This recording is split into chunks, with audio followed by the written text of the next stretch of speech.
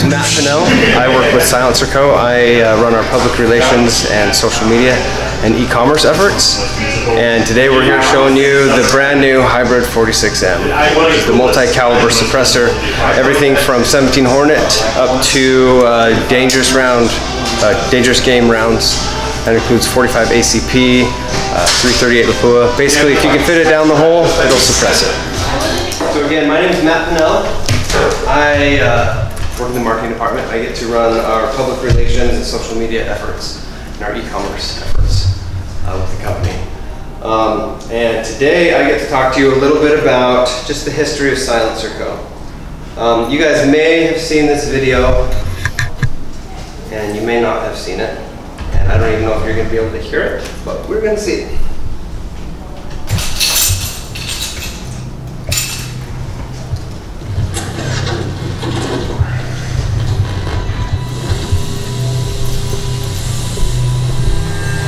The keys to innovation can be found anywhere ambition dwells. Even within the walls of a humble garage. The kindling of inspiration ignited by one simple motivation to do it better. Through experimentation and struggle, great ideas come from the hours of nightly ritual. We fought the noise and began a revolution that impacted with industrial fervor.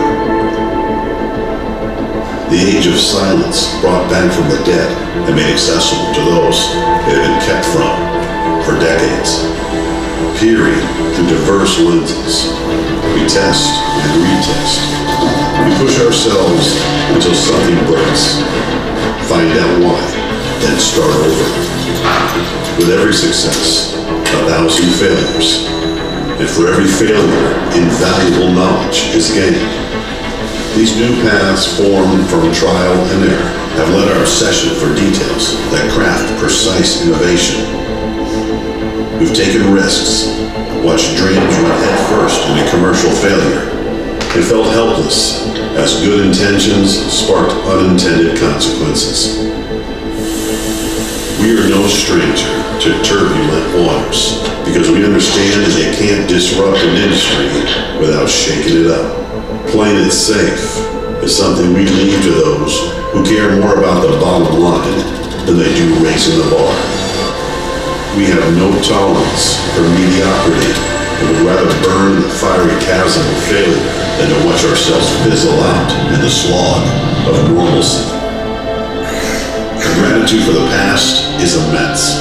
It's the foundation that our future builds upon. And while our garage is a little bigger than it once was, the driving motivation established over a decade ago continues to fuel the unquenchable nature of our obsession to do it better. It would be easy to avoid risk, hit cruise control, and rely on our past successes to stay in business. But that's not why we get out of bed in the morning. We strive to make the best for our customers because they deserve the best. And make no mistake, we are just getting started.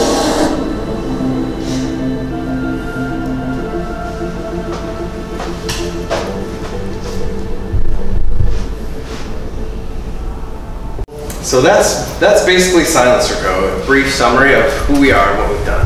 Um, we've had a lot of successes. Uh, we've also had a lot of failures.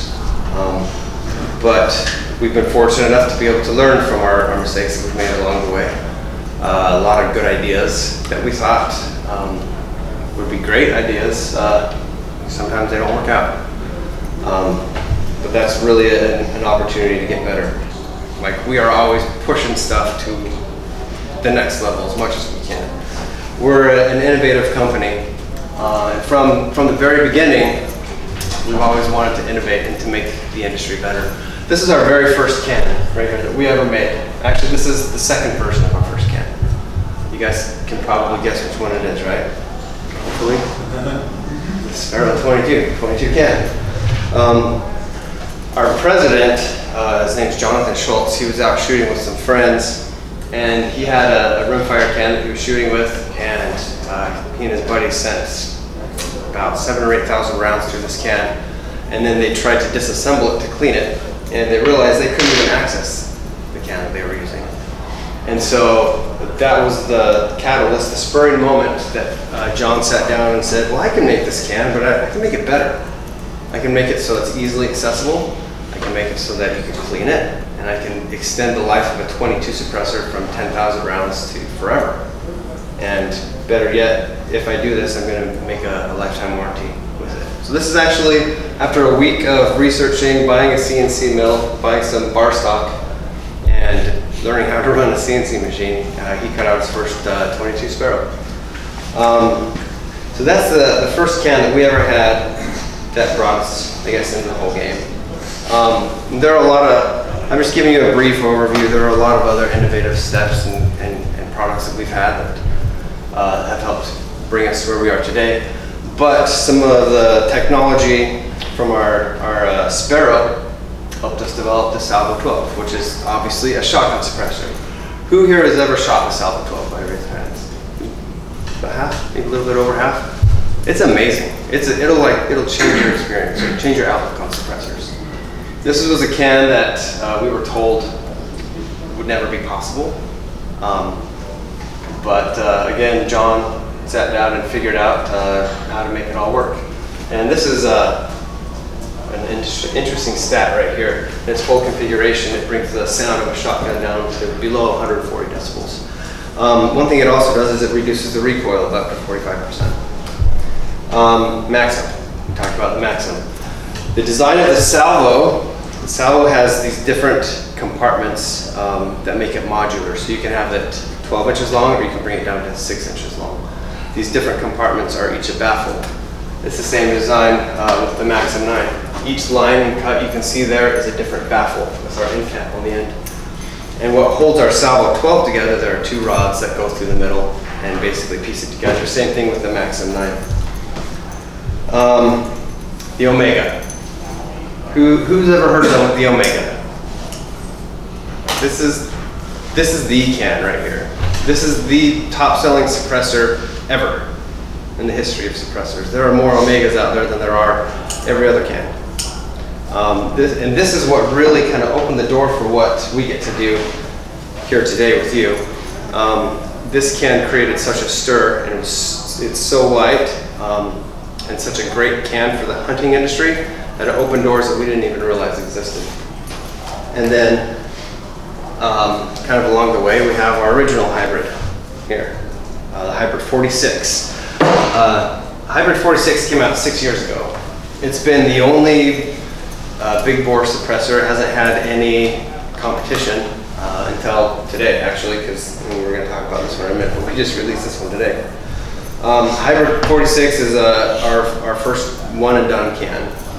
Um, and it did so well that we developed the Omega 36M right here. So very similar to the Omega 300, right?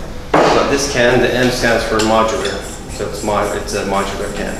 You can take the front part of the can off and make it small. Pretty cool. Um, for a lot of other, a lot of reasons. And uh, so we took, we basically took the popularity of this can, um, the versatility of this can, and threw it into this can. Um, this has a 36.36 uh, bore on it, which is why it's called the Omega 36M. And it is extremely light, um, extremely strong. It can handle everything from 223 to 338 This can has done so well, um, we realized that we were pretty much doing a disservice to the industry if we didn't follow it up with something that was just as good, something that could do a little bit more. Which is why we then created this. This is, the, this is the hybrid. 46M. Same concept, same design, kind of an evolution of what we offer. The M, of course, modularity, you can take the front part of the can off. We'll touch back to that. Um, just a quick introduction. I'm Quentin Mount. Been with the company for a little bit and kind of more on the technical side of things. So happy to answer any questions like that. Uh, as far as shortening it down, it's very caliber dependent. Um, you may, I mean, on like a 9 millimeter, you're looking at 4 decibel difference. So, and kind of depends on host as well, but yeah, I mean, it's find the right application for the configuration, right? So If I'm putting it on a handgun, then I'm probably gonna go short configuration. Even if it's a little bit louder, you just don't have that big old weight sitting the end, right? Keep it nice and compact. Same thing sub gun, I'll run it in a short configuration. Uh, it's gonna use our Charlie mounting platform, which is, we have three different thread patterns for all of our suppressors. Um, very industry standard these days for a lot of them. Starting with the Omega 300 kind of became, the threads on that became one of the main industry standards. But we started switching more over to the Charlie pattern, which is external threads that locks onto with the taper. So it's just more secure way of mounting your uh, accessories to the silencer. And then ships with a 45 caliber and a 30 caliber end cap. So the front caps can be interchanged. There are multiple sizes available. The 45, 9, or 355, uh, 30 caliber and 223. So you have a lot of different options there. However, it does ship with two of those to give you most uh, versatility with optimization out of the box. So there's a noticeable jump shooting 30 caliber with the 30 caliber front cap, you're getting about five decibels quieter than if you were to just use the 45 front cap. So that's why we included that. Uh, weight is going to be 12.2 ounces naked in the short configuration. That's no mount, no front cap, all the way up to 19.9 ounces in the heaviest configuration. So I mean, that's adding pretty much every accessory you want to get it up to that weight. So you can choose between a bunch of different configurations and kind of just go with what suits you. Um, length again, uh, naked short configuration is going to be 5.78 out to 9 inches in full configuration. That's adding on like a flash hider front cap as well.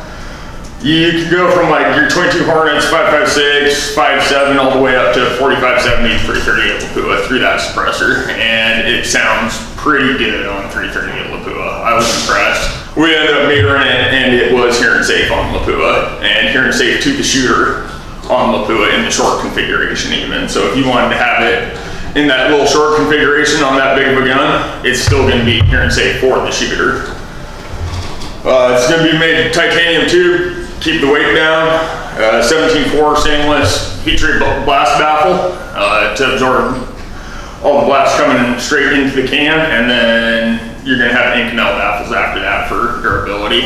So really excited about it. Lots of versatility there because you can put on pretty much everything you want. Um, common thing we get asked about that is like, why do you make cans that it'll do everything? Aren't you just gonna sell one at that point? But no, it's gonna be more of kind of the gateway suppressor for everyone. Like, you get it, you can swap around all your different guns, and then they're like, wow, why did I ever shoot unsuppressed, right? Uh, I don't know if you guys know this or not about SilencerCo., but everything that we make, we make in one factory.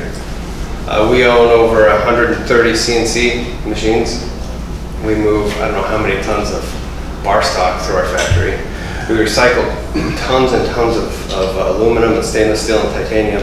But everything from our flash hiders and our muzzle devices to our lower receivers, our cans, even the anodizing process or any Cerakoting process, we do all of it. Um, we have over 200 employees right now that, uh, yeah, that run, basically run the show.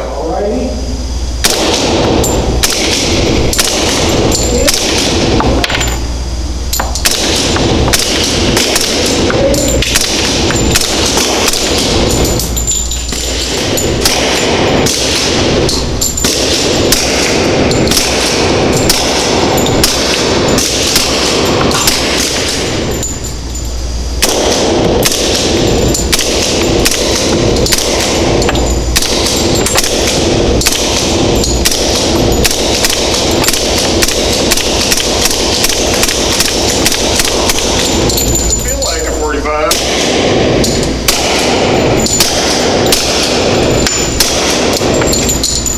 Pretty sweet. Ain't that neat? Oh, wow. Ain't that cool?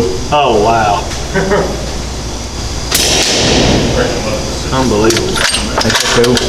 That's one of the coolest little guns. Just saying, change this copy on this post right now.